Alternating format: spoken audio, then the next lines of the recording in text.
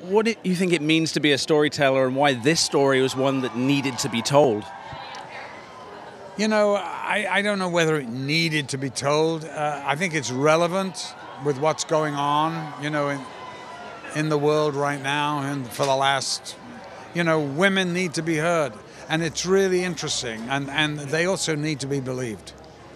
And what is the great thing, I'll tell you personally, from the Me Too movement, is that suddenly there is a real uh, surfeit of women directors that without the Me Too movement would never have been trusted to make a movie.